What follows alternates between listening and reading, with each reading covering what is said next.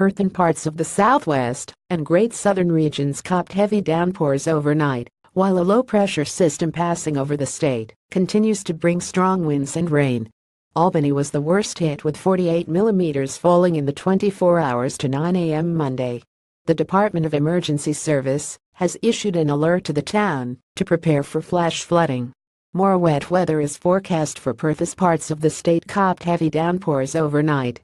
Photo NIC Walker If you live in the western South Coast area you should take action and stay safe with heavy rainfall that may lead to flash flooding to come, the alert read.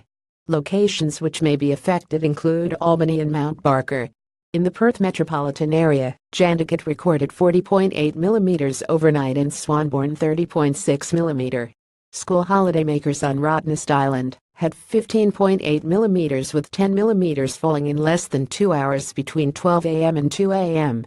The wet weather looks set to continue throughout the week. Showers and a possible storm are forecast for Perth on Monday, making it another wet day for people planning to attend the Perth Royal Show. Perth 7 day forecast Monday 617, showers, possible storm. Rain 815 Tuesday 618, shower or 2, clearing later. Rain 01 Wednesday 617, possible light shower. Rain 01 Thursday 818, showers, possible storm. Rain 28 Friday 720, partly cloudy. Saturday 822, mostly sunny. Sunday 1024, mostly sunny.